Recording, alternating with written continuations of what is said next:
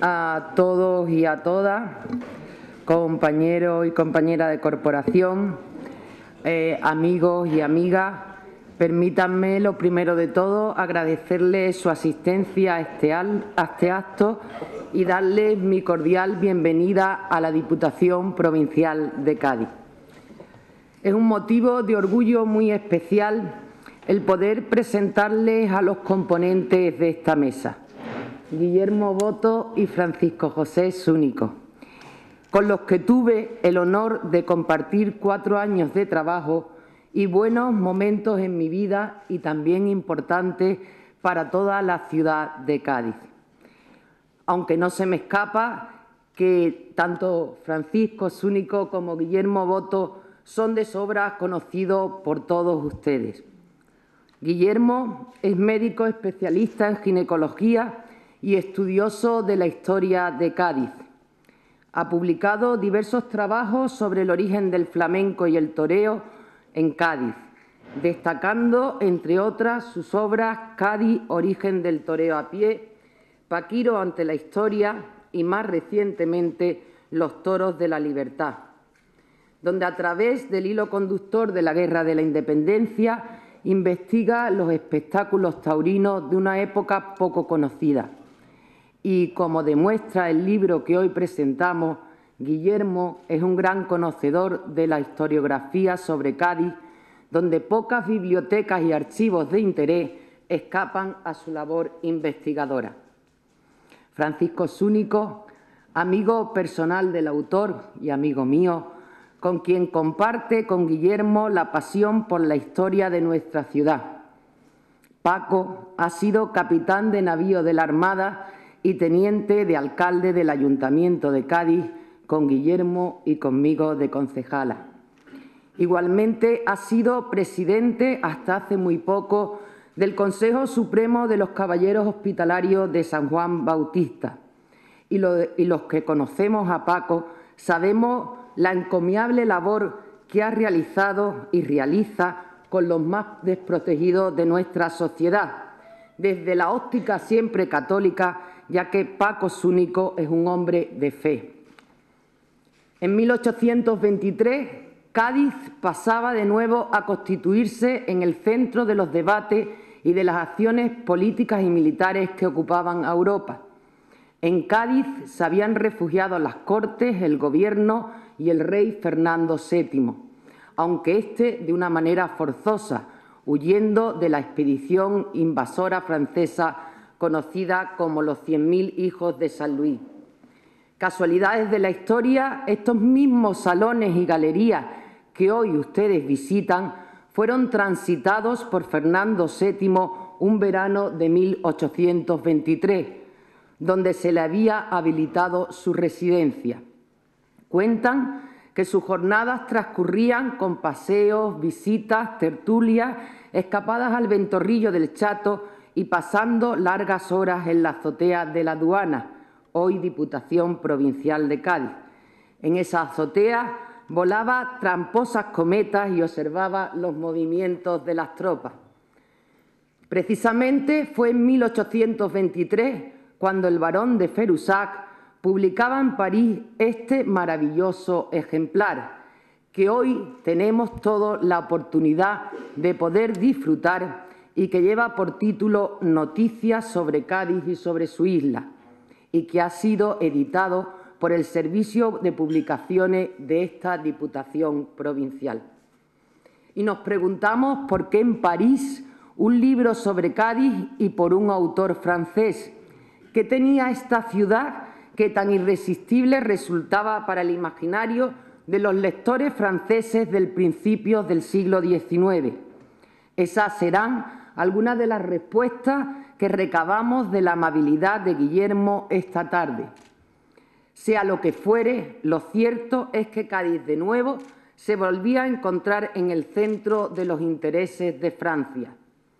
De cómo llegó este libro a las manos de Guillermo Boto, él mismo nos lo explica en su introducción y nos dice, la suerte hizo que pudiera adjudicarme en una subasta de libros antiguos un ejemplar de este. Conociendo a Guillermo, estoy segura que algo más que suerte y mucho de su interés y dedicación a la historia de Cádiz, hizo falta para que se dejara atrapar por los sorprendentes contenidos de este libro. Lo cierto es que Guillermo no pudo resistirse a traducirlo y a realizar un exhaustivo estudio introductorio del mismo. El resultado es esta pequeña joya de la historiografía gaditana que presentamos en edición facsimilar y que ponemos al alcance de todos los amantes de la historia de Cádiz, que se ve enriquecida con el magnífico y afectuoso prólogo de don Francisco Ponce Cordones, a quien agradecemos encarecidamente su amabilidad. Ahora dejemos que Guillermo Boto y Francisco José Súnico Varela nos expliquen los pormenores de esta publicación. Muchas gracias a todos y a todas por acompañarnos y tiene la palabra don Francisco José Súnico Varela. Muchísimas gracias.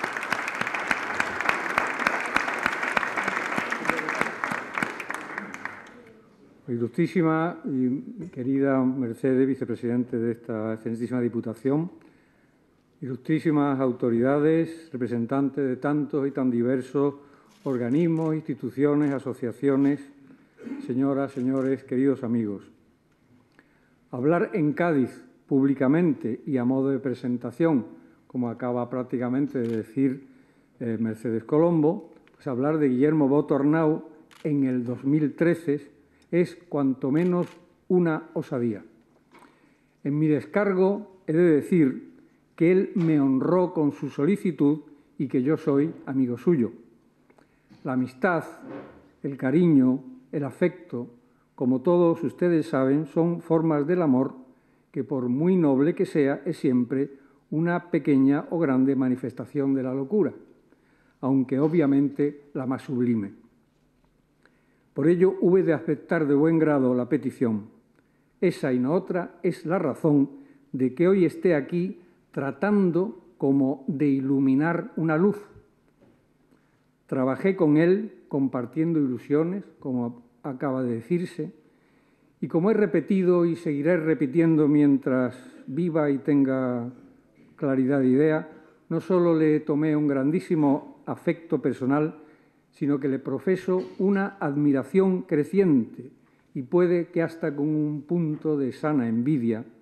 sobre todo por esa paciencia ilimitada que tiene en la búsqueda de lo que parece imposible de encontrar y que él, por casualidad, dice, termina siempre hallando en los rincones más insospechados donde quiera que se encuentren. Guillermo Boto es lo que se llama un erudito, como la Real Academia Española mm, dice, un instruido en varias ciencias, artes y otras materias. No solo es doctor en medicina y cirugía, como sabemos, sino que desde siempre mostró una especial predilección por las bellas artes, por la historia, por las antigüedades, por los usos y costumbres, por casi todas las ramas del pensamiento humano con una connotación apasionada que más tarde aclararé. Al margen y además de su profesión, que ejerció tan brillante como infatigablemente hasta su jubilación, el derecho de consejo lo tendrá hasta, hasta la muerte, tras múltiples ensayos personales en varias disciplinas, terminó decantándose y orientando sus esfuerzos intelectuales y a la postre siendo un gran conocedor, un especialista en temas relacionados con la historia de Cádiz, la apasionante y trimilenaria historia de esta ciudad, con el llamado cante grande, el flamenco, el cante hondo, con la tauromaquia, etc. Nada más conocer las pinceladas maestras de la vida personal, literaria, cultural y profesional del doctor Boto, uno se da cuenta de que contar con su inestimable ayuda, con su colaboración, con su consejo, con su punto de vista en tantas facetas con las que, las que domina,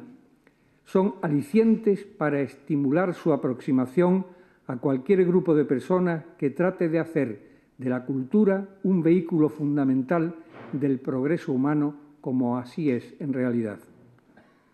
Salvador de Madariaga, en su carácter y destino de Europa, establece tres arquetipos de europeos. El hombre de acción, el de pensamiento y el de pasión, a los que se pueden ir adaptando las grandes personalidades de nuestra común historia. Pues bien, mi amigo Guillermo, nuestro amigo Guillermo, Guillermo Boto, el doctor Boto, tiene el privilegio de ser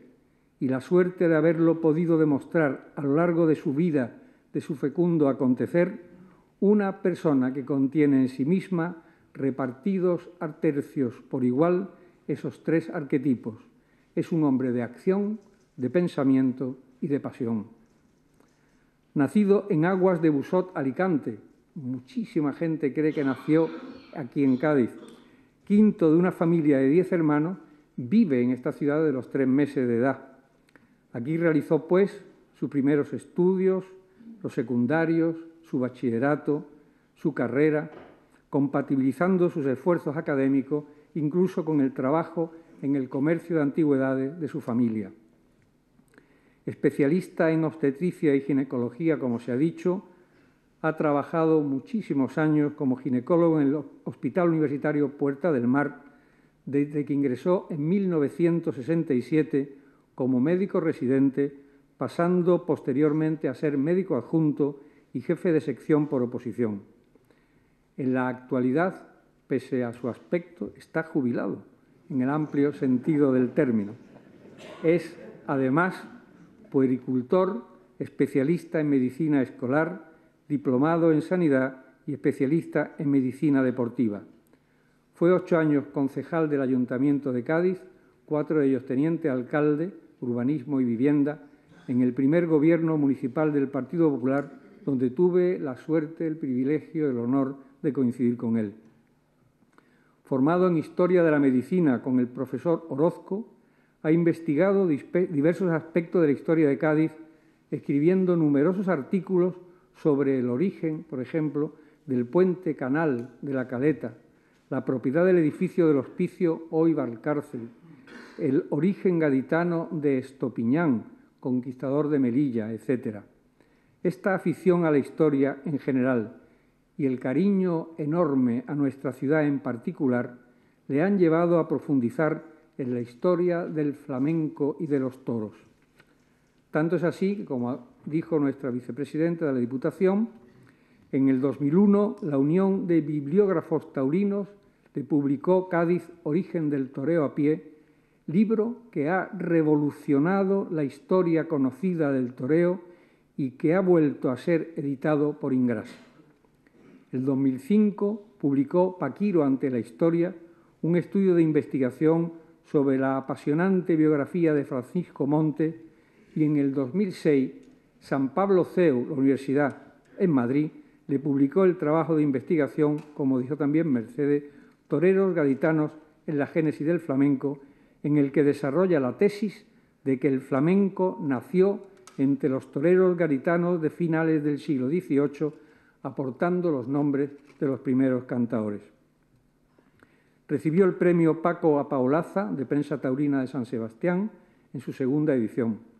Ha dado multitud de conferencias sobre sus obras taurinas y flamencas en Madrid, Barcelona, San Sebastián, Granada, Córdoba, Sevilla, Cartagena, Badajoz y desde luego yo creo que en todos los pueblos de la geografía gaditana. Por otra parte, el Congreso Nacional de Flamenco celebrado en Cádiz el 2007, en él presentó cinco comunicaciones sobre investigaciones acerca del origen del flamenco y en el Cante de las Minas, en la celebración del 2009, fue invitado por el Ayuntamiento de la Unión para dar una conferencia sobre el origen del flamenco. Ha elaborado con la televisión local Onda Cádiz, ha colaborado dirigiendo el programa Arte Flamenco durante dos años. Es miembro de número de la Asamblea Amistosa y Literaria que fundara en Cádiz el célebre marino Jorge Juan en 1755, es ateneísta de mérito del Ateneo Gaditano, académico corresponsal de la de Medicina de Cádiz y miembro de la Cátedra de Flamencología de Cádiz. El pasado mes de noviembre presentó en el Salón de Pleno de nuestro Ayuntamiento, que no se cabía, el libro Los toros de la libertad, encargado y editado por la Fundación José Tomás como homenaje a la Constitución de Cádiz. Hoy, como todos ustedes saben, tenemos la suerte y el placer de que nos presente noticias sobre Cádiz, sobre su isla, del barón de, Ferusac, todo un descubrimiento que encontró, tuvo la suerte de encontrar como tantas cosas y que eh, aplicando los conocimientos que desde el bachillerato tuvimos en los marianistas, pues ha traducido con enorme paciencia y dedicación. Evidentemente, cuando alguien decida acometer la biografía de Guillermo Boto, la titulará sin duda alguna Guillermo Boto Arnau, Pasión por Cádiz, porque ese, la pasión, ha sido el hilo conductor de ese triple acontecer que decíamos de los europeos que merecían la pena, el intelectual, el vital y el emocional. Muchísimas gracias. Con ustedes, con el permiso de la vicepresidencia, el doctor Guillermo Boto Arnau tiene la palabra para hablarnos de su libro Pasión por Cádiz.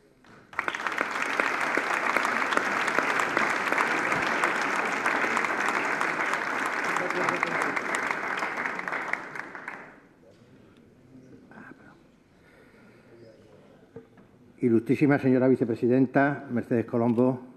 ilustrísimas autoridades y compañeros, respetado y admirado don Francisco Ponce Cordones, señoras y señores, amigos todos. Bueno, lo primero de todo, darle las más efusivas gracias a Mercedes y a Paco por esas exageradísimas palabras. Yo no me reconozco en ellas, con toda sinceridad, pero, en fin, cuando la vida normal de una persona se oye contar de esta forma, pues parece que hasta uno se lo cree, y la verdad es que no. Eh, todos estos títulos, todas estas cosas, pues no es ni más ni menos que el acontecer diario de una persona normal. Eh, es verdad que el interés por la historia de Cádiz me hizo, mm, bueno, como siempre, mirar y curiosear todas las cosas de Cádiz que se compraban fuera de Cádiz, que se encuentran fuera de Cádiz en subastas o en listados de, libros, sobre todo, y sobre todo intentando casi siempre adelantarme a ese gaditano ilustre y benefactor de esta ciudad, que fue don Federico Llolí, que tantas cosas me pisó, él tenía más dinero que yo y más rapidez mental, porque tenía amigos en todos lados que le ofrecían las muchísimas maravillas que luego ha legado a esta ciudad. Y bueno, pues posiblemente porque luego me enteré que en la Fundación Jolie, que ahora ya pueden ver todos los gaditanos, hay un ejemplar de este libro, pero cuando yo lo compré, o cuando conseguí quedarme con él en una subasta, pues no existía ni en la biblioteca provincial, ni en la municipal, ni en la de temas gaditanos. Luego he sabido que algún gaditano lo tiene en su casa y que incluso goza de una preciosa traducción que le hizo su padre, y me refiero a mis compañeros de corporación y de colegio, eh, Quique y su hermano García Bulló. Eh, es posible que haya algún otro ejemplar, pero la verdad es que este libro que han manejado eh, algunos eruditos gaitanos, yo no lo soy en absoluto, eh, mm, incluso para sus tesis doctorales y tal, pues no había sido, mm, mm, si había sido manejado, había sido conocido fuera de la ciudad y desde luego nunca traducido. el libro que se presenta ha sido gracias al inmenso cariño hacia el libro y hacia mi persona de Mercedes Colombo y hacia la intuición que ha tenido ella de que efectivamente este es un libro que yo creo importante para la historiografía de Cádiz, porque si lo piensan ustedes es un libro que escribe un militar napoleónico de los que sitió Cádiz y bombardeó Cádiz en 1812 y que en esta celebración del Bicentenario pues prácticamente es una de las obras más directas mm, de, aquella época, porque aunque se han publicado maravillosos estudios sobre la época, mm, no se ha publicado nada de un personaje exactamente como este barón de Ferusac, que mm, entró muy joven al servicio de Napoleón, estuvo ya en las primeras batallas europeas y con aproximadamente 20 años, aproximadamente, eh, participa en el primero y en el segundo sitio de Zaragoza y luego en el sitio y bombardeo de la ciudad de Cádiz. Eh, este hombre, mm, a pesar de,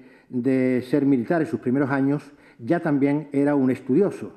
y precisamente aportó al ejército de Napoleón, ejército que hay que decir que hoy nos sorprende con la cantidad de eruditos que llevó, no solamente a Egipto, como sabéis, eh, la piedra roseta fue traducida eh, después de encontrada en Egipto por un propio militar de Napoleón y tantas otras personalidades que llevó, dibujantes y eruditos de todos los colores y de todas las clases, pues este, este varón de Ferrusac ya desde muy joven, casi desde niño, era coleccionista de antigüedades, de fósiles, e incluso se interesó por la obra de su padre, eh, un monumental trabajo que él hace, termina y después presenta en varios volúmenes sobre los moluscos de los ríos. Y bueno, la verdad es que tocaba todos los, todos los palos. ¿no? Y efectivamente, en los años en que está en Cádiz, parece que participó en la batalla de Moguer, no se sabe si en Cádiz o en Moguer fue herido, y los años en que está herido y antes de su retirada hacia, hacia París, eh, pues él mm, mm, se dedica a, a, interesarse por la historia de Cádiz. Y curiosamente no nos va a relatar la historia de aquel asalto, como hizo con el sitio de Zaragoza, que parece que el relato que hizo de los sitios de Zaragoza es en el que se han basado casi todos los escritores sobre el sitio de Zaragoza, los mismos franceses que españoles. Él eh, se entusiasma con la historia de Cádiz y se entusiasma fundamentalmente con la fundación de Cádiz por los fenicios. Eh, es curioso porque empieza a investigar esta fundación mm, de Cádiz por los fenicios y llega a manejar hasta más de 50 autores de los primitivos mm, autores mm, griegos y romanos que escriben sobre la fundación de Cádiz. Eh, indudablemente, bueno, después de él, esto estamos hablando de principios del siglo XIX, ha habido otros eruditos gaditanos, como el propio César Pemán, que quizás es el autor de más referencia y el que escribió aquel libro sobre fuentes literarias de la antigüedad gaditana, pues el que más escribió sobre este tema. Pero la verdad es que sorprende que un autor francés, y cuando nadie lo había hecho, pueda reunir tantísimas fuentes y sobre todo tenga esa clarividencia para ir quitando toda la geografía mitológica que reunía este lugar gaditano ir sacando realmente los vestigios históricos, dándole su carácter histórico, hoy le llamaríamos el método heurístico, como decía mi maestro don Antonio Orozco, en el que cada uno de los datos se va limpiando como si fuera una perla de un collar y luego se va engarzando con los demás hasta dar un producto que es la historia verdaderamente libre de, cualquier polvo y de paja eh, de lo que pueden ser mitos o invenciones. Eh, es una delicia mm, leer cómo va describiendo esta fundación eh, de Cádiz, sobre todo después de haber conocido el maravilloso descubrimiento de don Francisco Ponce en los años 70, si mal no recuerdo, él me podrá corregir si me equivoco, de aquel canal que partía la isla de Cádiz en dos y que de alguna forma pone eh, el rompecabezas de los antiguos sobre las gadeiras, las muchas islas gaditanas, lo pone absolutamente en orden esa clarividencia de don Francisco Ponce. Y cuando se conoce esto y se va leyendo el libro de Ferusac, pues la verdad es que es una verdadera delicia el poderlo leer. Eh, hay otro tema muy bonito de este libro y es que las traducciones que utiliza Ferusac en su estudio estaban hechas, no podía ser menos, de estos eruditos franceses por una organización que ellos tenían que era mm, similar a una academia de traducción, ellos le llamaban la, academia precisamente. Y, mm, estas traducciones, digamos, oficiales de, estos autores antiguos, la verdad es que nos detallan, pues como no podía ser menos, algunas frases sobre la ciudad de Cádiz que son verdaderamente mm, preciosas. Eh, hay algunos autores, concretamente eh, Plinio, eh, basándose en que Cádiz em, se decía que estaba fundada después del confín del mundo, que eran las columnas de Hércules del Estrecho, pues se decía que Cádiz estaba fundada fuera del mundo. Otros autores la describen como que era la morada del sol, porque el sol, en aquel disco plano que se suponía que era la tierra para los griegos, pues indudablemente moría cuando llegaba a Cádiz y aquí se quedaba hasta el día siguiente que volvía a salir por el otro lado. ¿no? Entonces era la, última estancia de la luz que decían también algunos autores, e incluso hay algún autor como eh, Silvio Itálico que llega a decir una frase que decía que el sol en su camino por el mundo venía a parar a Cádiz y lavaba los caballos de su carro en las frescas aguas del Guadalquivir. Verdaderamente unas descripciones eh, bueno, de, de, un encanto sensacional. Eh, la erudición de, este hombre, del barón de Ferrusac, llega tanto que, aparte de este libro que él edita en 1823, como muy bien han dicho mis antecesores y como maravillosamente escribe Ponce en, el prólogo que realiza el libro, a petición mía, eh, digamos, este, este, hombre edita el libro pensando que los Cien hijos de San Luis lo van a tener un poco como libro de cabecera cuando vuelvan a atacar Cádiz eh, y, y sitien Cádiz con las dificultades que tuvo el ejército de Napoleón. No sería así, como saben ustedes, la copla flamenca dice que si entraron en Cádiz eh, fue por una traición, así lo dice el flamenco y así debió de ser, cuando con una pequeña batallita eh, por ahí por el trocadero, batalla que ellos tienen muy bien puesta en el arco del triunfo, pues realmente cruzaron y vadearon el trocadero y entraron en Cádiz como un paseo militar. Téngase en cuenta que más de la mitad de España estaba con el rey deseado y con, en contra, digamos, de los liberales de la época que se habían refugiado tirando del rey en este edificio precisamente de la Diputación, como nos ha recordado Mercedes. El barón de Ferussac llega a fundar una revista en Francia en la que en nueve años se escriben hasta 170 volúmenes de ciencia. Escriben casi todos los autores de la ciencia de su época, escriben en, esta revista que se llama El Boletín de Ferussac, aunque el nombre eh, real es mucho más largo. Y fíjense ustedes eh, la importancia de este boletín cuando uno de los que escribió en él fue aquel maravilloso matemático francés, Evaristo Galois, que mm, muere con 20 años en, un duelo mm, amoroso, nada más y nada menos que contra el mejor espadachín del ejército de Napoleón.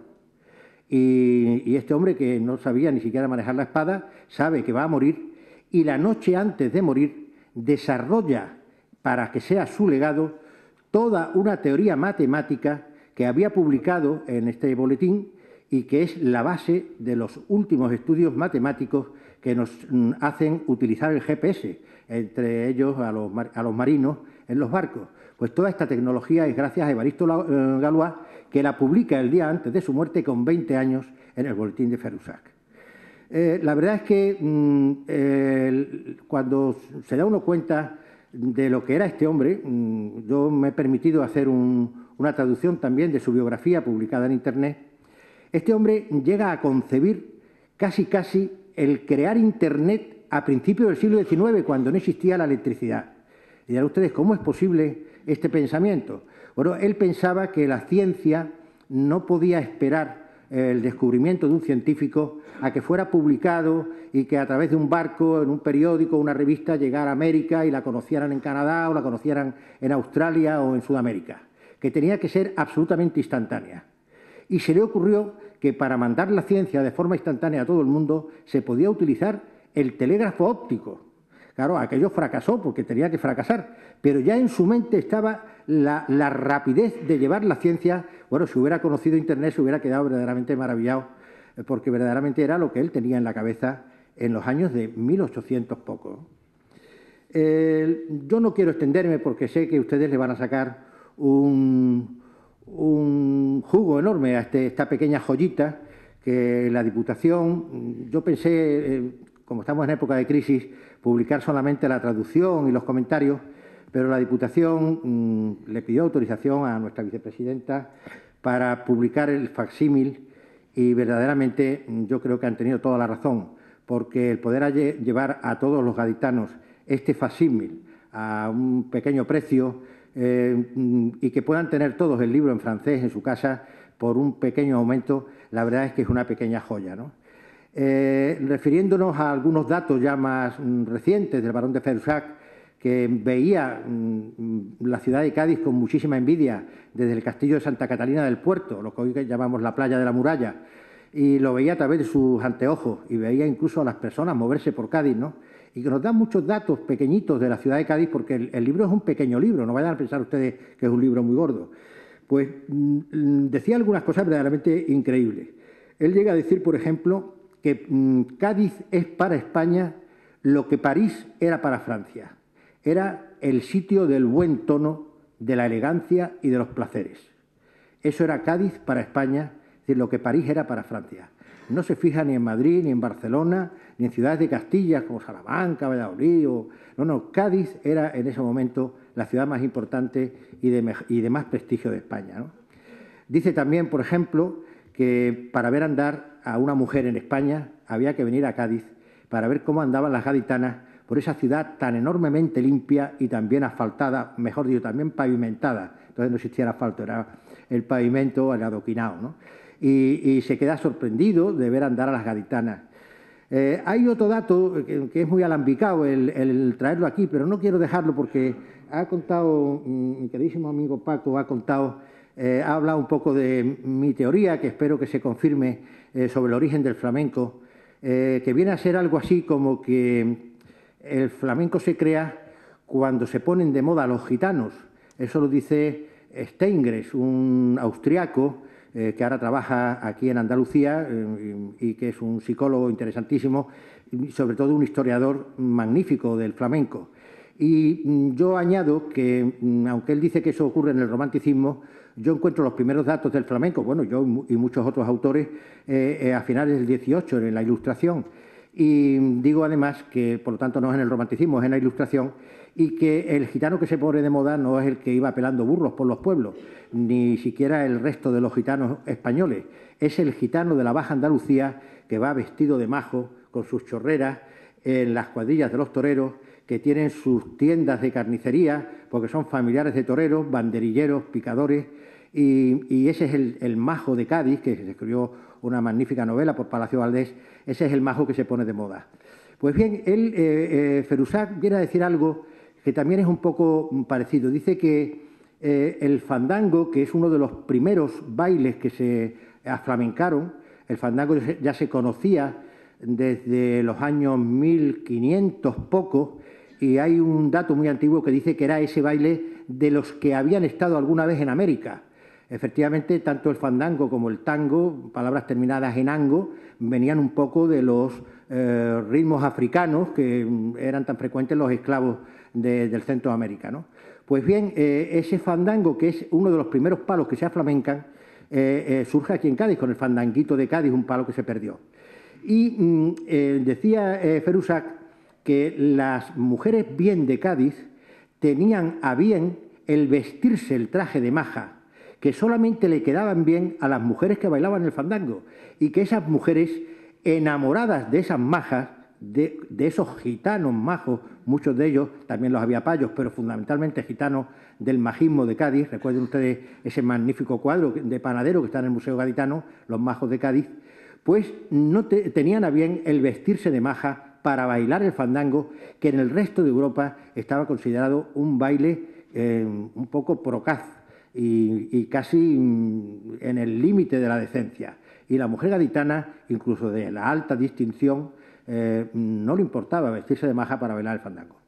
Así les podría decir a ustedes muchísimas cosas, solamente mm, me queda el capítulo de agradecimientos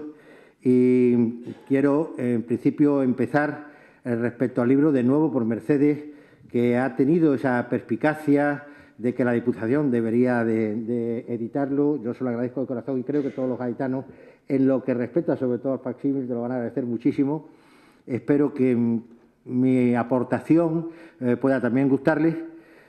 Eh, sigo por Paco Súnico, que ha sido el auténtico tocólogo de todos mis libros. Él los ha corregido con una, una paciencia y un cariño exquisito.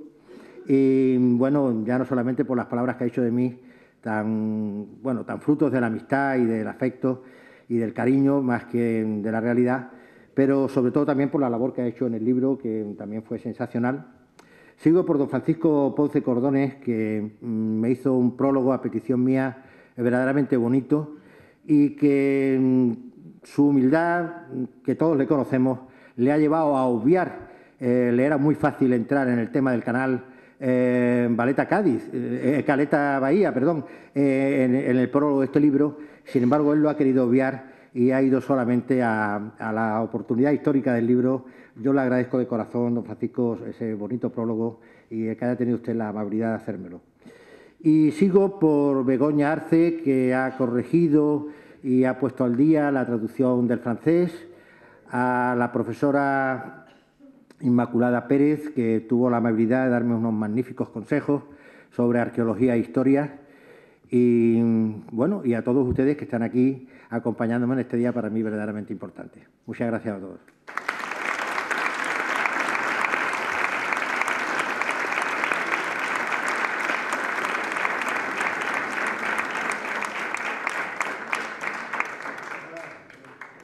Como sería eh, una osadía por mi parte después de las palabras tanto de Guillermo Boto como de Francisco Súnico el dirigirme de nuevo a todos ustedes, eh, agradecer vuestra presencia otra vez en esta Diputación Provincial, agradecerle a Guillermo, porque yo nunca me, canso de escucharlo, eh, sus palabras y a Francisco Súnico los mismos. Comprenderéis eh, después de la intervención de ambos que es muy fácil hacerse amigos tanto de Guillermo como de Paco Súnico. Buenas tardes a todos y a todas y esperemos que efectivamente este libro eh, porque así lo deseamos y porque así lo creemos y que por eso lo hemos hecho, el servicio de publicaciones de la Diputación de Cádiz sirva para esa historia de Cádiz de años futuros y para las nuevas generaciones. Gracias Guillermo y gracias Paco y gracias a todos vosotros.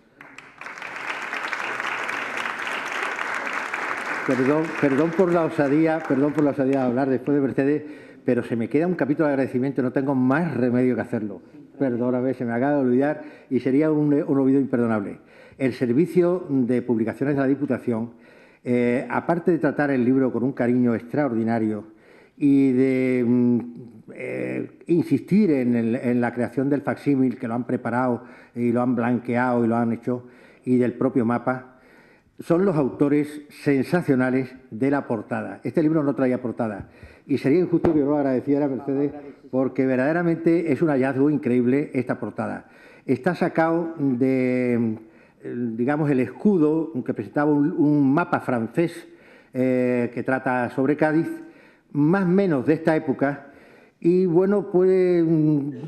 darse a todo tipo de interpretaciones. Los franceses ponen aquí las dos columnas gaditanas, le falta el non plus ultra, pero se ve perfectamente el león de Nemea de Hércules despellejado y colgado de las columnas, yo creo que en un signo de desprecio a los gaditanos. Y bueno, esto ha sido verdaderamente eh, sacado de este mapa por este servicio de publicaciones. Aquí han puesto el título, le han puesto esta vista preciosa de Cádiz y sería injusto que yo no se lo agradeciera. Muchas gracias. Perdóname, Mercedes.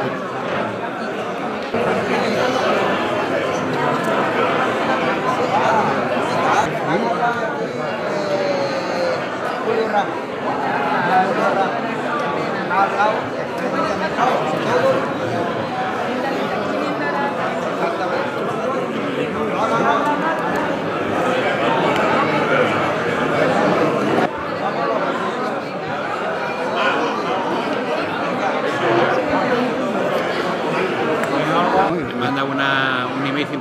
calientecito y voy a escucharte, ¿vale? Ojalá, ojalá, bueno, bueno.